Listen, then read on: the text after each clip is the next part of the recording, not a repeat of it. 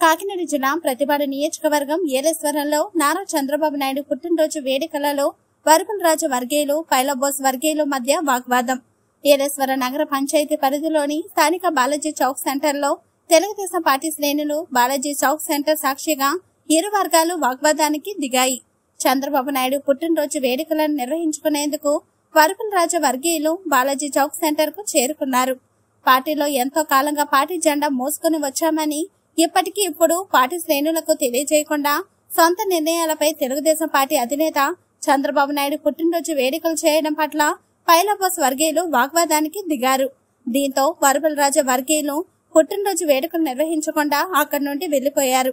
అనంతరం పైలబోస్ వర్గీయులు సెంటర్లో పుట్టినరోజు వేడుకలను నిర్వహించి ర్యాలీని చేపట్టారు. ఘర్షణలో రాజా వర్గీయుడికి ముక్కుపై రక్తం కారేటట్టు గాయాలయ్యాయి. నేను తెలుగుదేశం పార్టీ కార్యకర్తని వరపుల రాజా గారు అభిమాని ఆయన ఆధ్వర్యంలో నడుస్తున్నాను. ఈరోజు ఇరవయో తేదీని బాలాజీ చౌక్ సెంటర్లో చంద్రబాబు నాయుడు గారు పుట్టినరోజు సందర్భంగా కేక్ కటింగ్ కార్యక్రమం మండల నాయకులు టౌన్ నాయకులు అందరూ పాల్గొన్నారు. అందులో నన్ను కూడా పిలిచారు ఆ కార్యక్రమంలో పాల్గొన్నాను అక్కడ బోసి వర్గీయులు వచ్చి గొడవ గొడవ పడ్డారు నాయకులతో.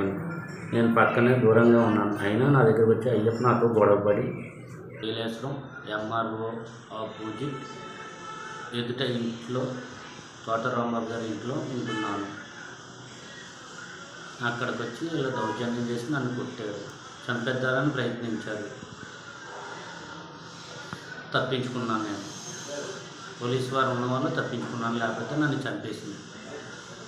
దయచేసి నన్ను నాకు రక్షణ కల్పించాలి నా ఫ్యామిలీకి రక్షణ కల్పించాలి ఈ వీళ్ళని పైలా సుభాష్ చంద్రబోసు అయ్యప్ప